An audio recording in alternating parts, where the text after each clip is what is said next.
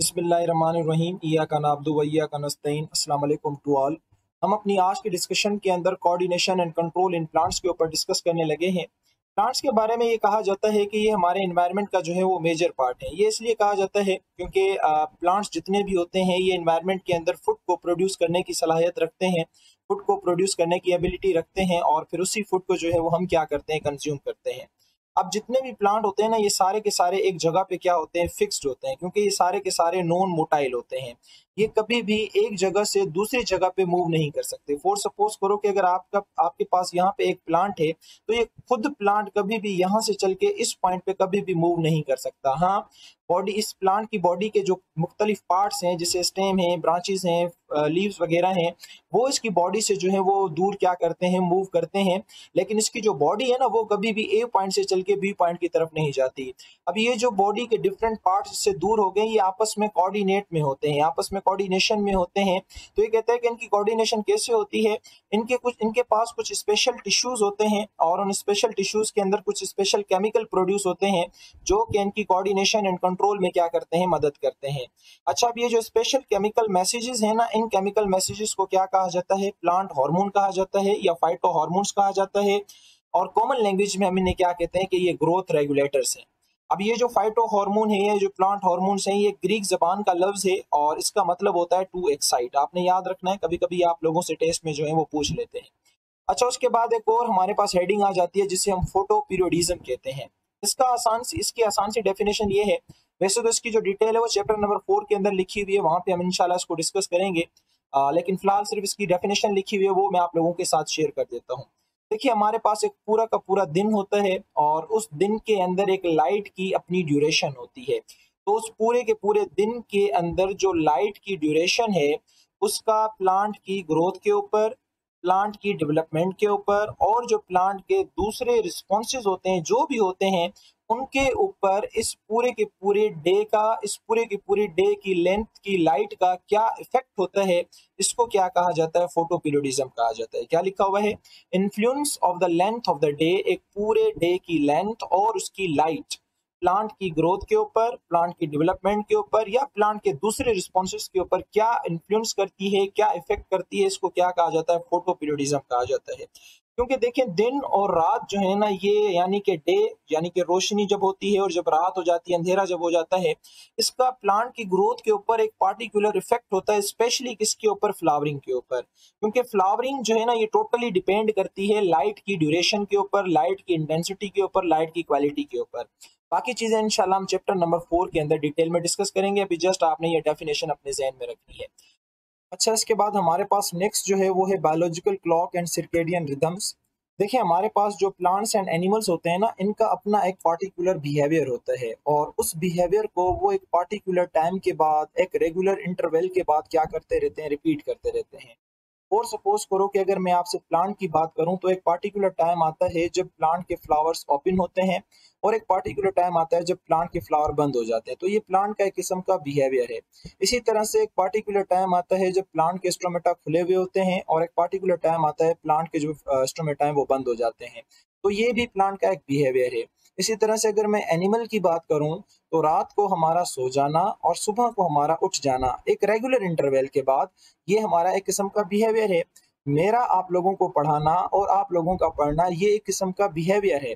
तो ये कहते हैं कि जब प्लांट्स एंड एनिमल्स अपनी इस बायोलॉजिकल या बिहेवियर एक्टिविटीज़ को एक रेगुलर इंटरवल के बाद रिपीट करते हैं तो इस इन टाइप की एक्टिविटीज़ को बायोलॉजिकल या बिहेवियर एक्टिविटीज़ को क्या कहा जाता है? बायोरिथम्स कहा जाता है। अच्छा ये कहता है कि अब ये जो बायोरिथम्स है ना, ये ऐसे ही नहीं चलते। इनके लिए लिविंग ऑर्गेनिजम्स की बॉडी के अंदर बाकायदे एक टाइम मेयरिंग सिस्टम मौजूद है, जो कि टाइम के पैसेज को क्या करता है, मेयर करता रहता है और इसको क्या कहा जाता है बायोलॉजिकल क्लॉक कहा जाता है। अच्छा देखिए, अब ये जो बायोरिथम्स हमने पढ़े ना, ये जो हमने फिजियोलॉजिकल हमने जो बिहेवियर एक्टिविटीज़ पढ़ी, जो कि हम अपनी एक रेगुलर इंटरवल की बुनियाद पर रिपीट करते रहते हैं, मैंने कुछ मिसालें भी आपको दी। अब ये जो बायो रिथम्स हैं, ये हो सकता है कि 24 आवर की फ्रीक्वेंसी के बाद रिपीट करें। हो सकता है ये एक मंथ की फ्रीक्वेंसी के बाद रिपीट करें।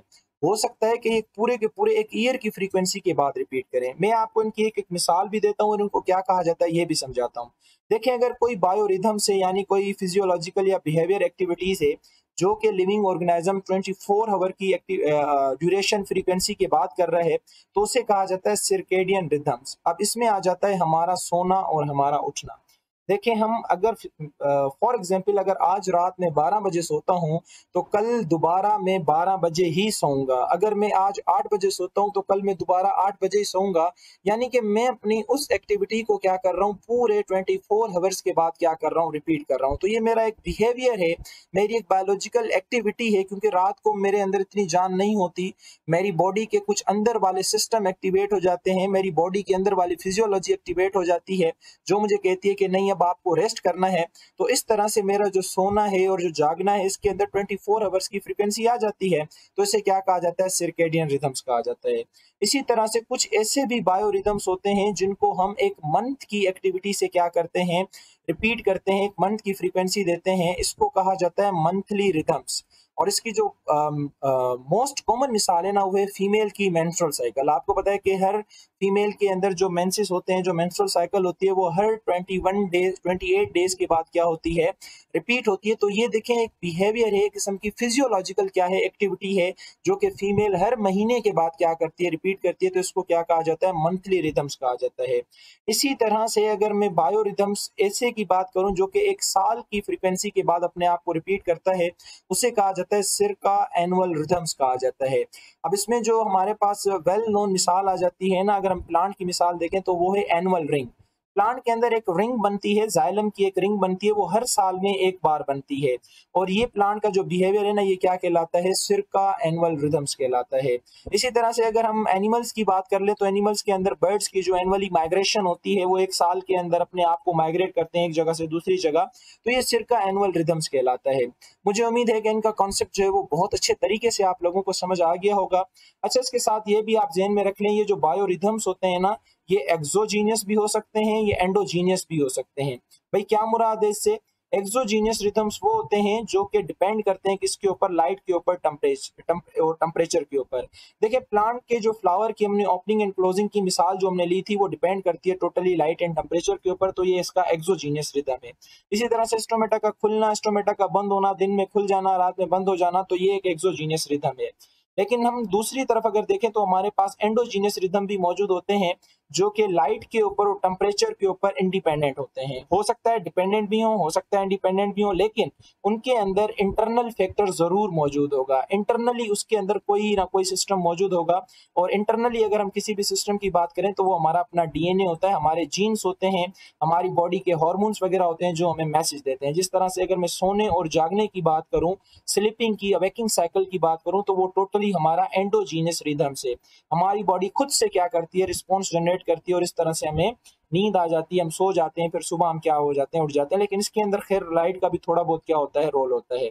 तो मुझे उम्मीद है कि ये जो तीन टर्म्स मैंने आप लोगों को बताई हैं बायो रिदम से सिरकेडियन रिदम से मंथली रिदम से सिरको एनुअल रिदम से विथ एग्ज़ाम्पल एक्सोजीनियस रिदम क्या होते हैं एंडोजीनियस रिदम क्या होते हैं, ये आप लोगों को अच्छे तरीके से समझ आ गए होंगे। बाकी सिन टेक्स्ट बुक के अंदर जितनी भी बातें लिखी हुई हैं, बेटा वो सारी बकवास लिखी हुई हैं।